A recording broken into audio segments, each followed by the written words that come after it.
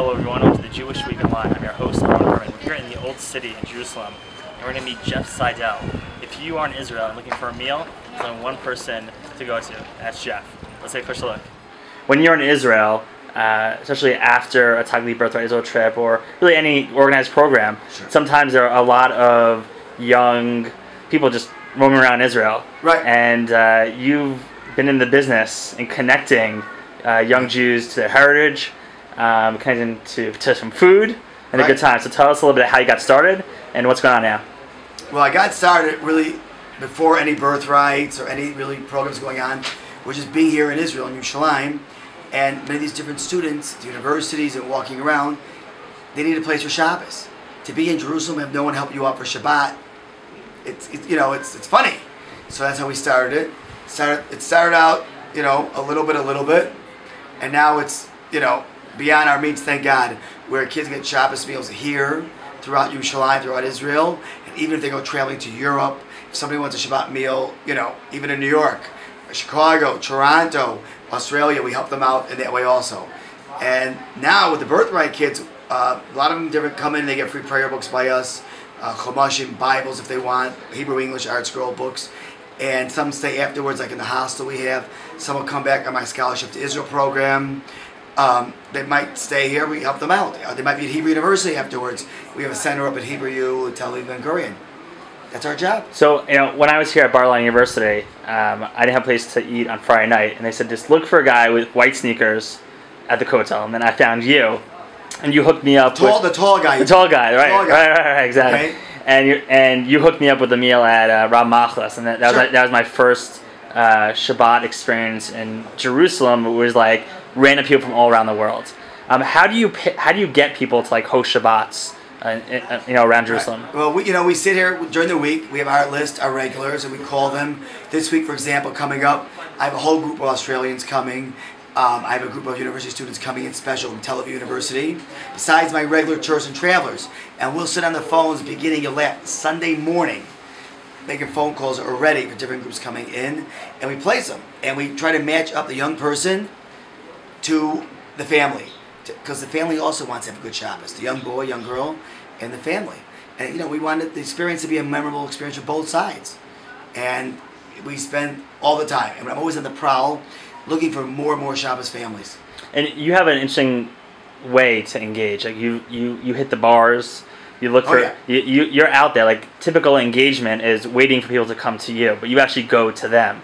Yeah, Um, on so- Wednesday nights, Thursday nights, my nighttime starts around 11:30. My work time, 11:30 to 2, 3 o'clock in the morning. Hitting the bars, inviting anybody who needs a place for Shabbat. And and some kids even say to me, you know, Jeff, I have a place, but thank you for caring. Thank you for coming, stopping, saying hello to me. and your, your programs range from social events to learning events. Um, what has been your most successful program? Um, well, that's a hard question because you know we go to Poland with the young people. Uh, we've been giving out this past two years through the Asher David Milstein Foundation um, prayer books, art scroll prayer books, which is now becoming uh, extremely popular and successful. A Chumash, a Bible. I have kids with very little background walking up to me. Even six months later, come back to Israel. The girl opens up her purse, shows me her, her, her women's art scroll prayer book. And she's not religious even. Just, but Jeff, I pray every day because of this book you gave me. And I can read it, I can understand it.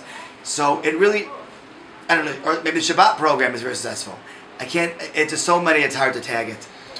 What What's your hope for you know when a when a young Jewish individual comes to you? What's your hope for them uh, once they meet you and, and, are, and start getting engaged? Oh, that's a hard. That's a really hard question because I try to deal with everybody as an individual. So everybody is different. There might be one person that he buys a pair of tefillin. There might be another person that he keeps Shabbat and becomes more involved in more learning Judaism. Another person might be that he just is so away from Judaism that he marries a Jewish girl. So everybody, it, it varies every single person. So I really can't tell you. I, I really can't tell you. But we hope that we give everybody a huge positive, positive experience that they'll be able to pass it on to other people, and they themselves will be a leader and an example to the rest of the Jewish world. And where can people learn more about you know what you do?